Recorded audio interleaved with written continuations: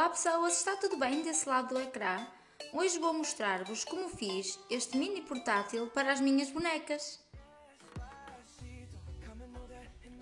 Este foi o primeiro que fiz, já fiz há algum tempo, mas ele nem abre nem fecha, foi apenas para tirar fotos que o fiz. Este vídeo foi uma menina do Instagram que me pediu para fazer. Ela tem o nome de Eu Sophie e um beijinho para ela. Comecei por cortar 8 retângulos com 4 cm e meio por 3 cm e fiz isto num cartão comum, pode ser até mesmo aqueles cartões das embalagens de cereais.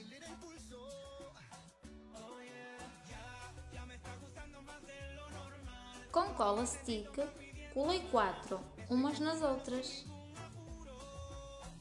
e ficou assim como se fosse uma plaquinha mais grossa.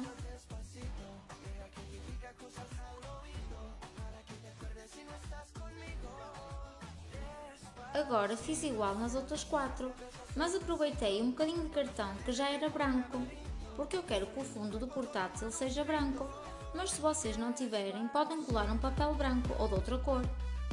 E quero que a tampa seja desta cor, por isso é o que vou colar aqui. Mas já sabem que isto é opcional, vocês podem fazer de qualquer cor, com qualquer material que tenham aí.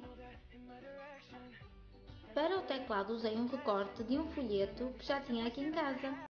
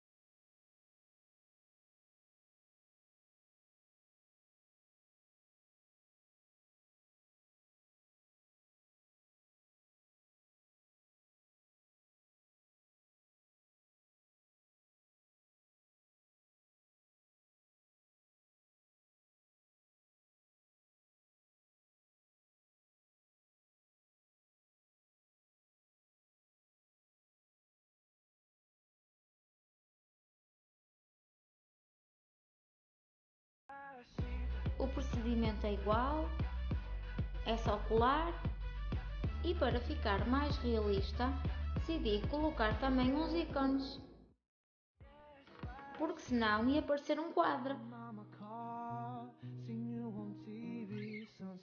Então cortei para ficar a parecer que estamos a entrar no menu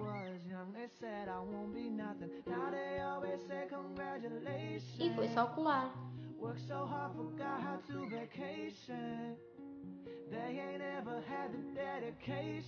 Para ficar ainda mais fofo, colei também aqueles quatro ícones ao lado. E vai ficar assim.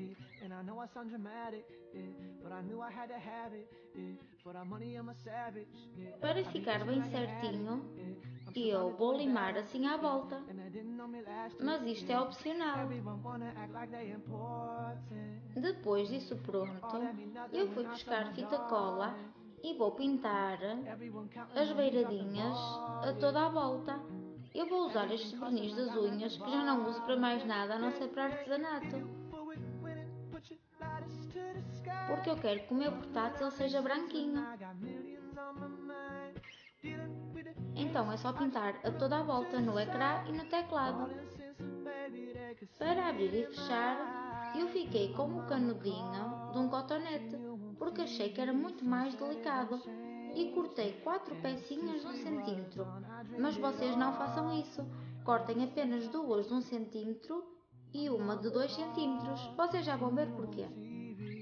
Precisamos também de um arame um bocadinho maior do que as quatro peças juntas, no vosso caso as três peças juntas, e dobramos assim a pontinha. Agora é só começar a meter as pecinhas. E esta vamos encaixá-la bem para ficar ali à pressão.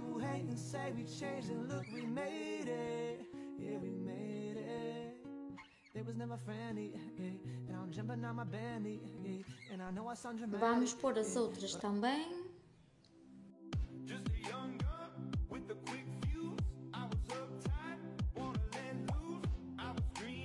E por último, fazemos a mesma coisa.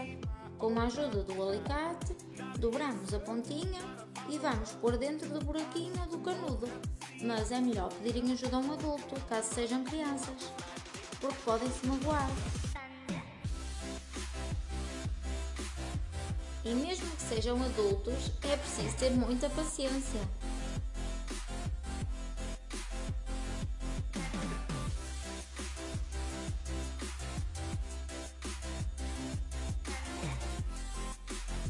Eu decidi limar também aqui estas pontinhas para ficar bem certinho.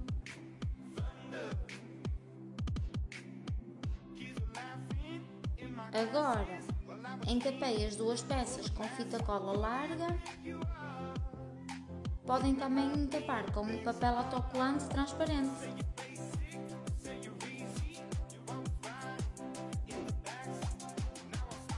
E fiz assim, primeiro uma parte, depois a outra,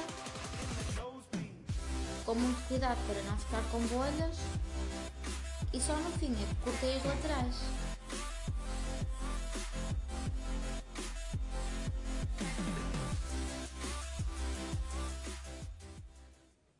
Agora tem mesmo que ser com cola quente ou então com cola de silicone fria. Pus um bocadinho de cola nas pontinhas com muito cuidado, colei os canudinhos.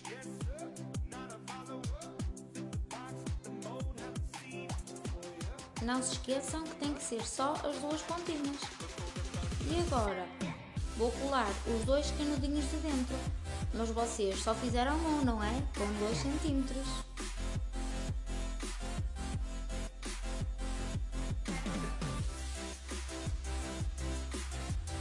E assim o nosso portátil já vai abrir e fechar e vai ser muito mais realista.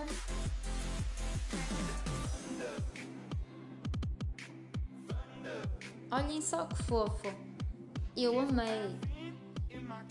E vocês? Deixem a vossa opinião aí nos comentários. Ficou só aquele cantinho estragado porque não tive assim muito cuidado a tirar a fita cola, mas vocês em casa tenham cuidado. Não deixem de pôr o dedo no like porque isso ajuda muito a divulgar o canal. Fiquem bem desse lado. Beijos!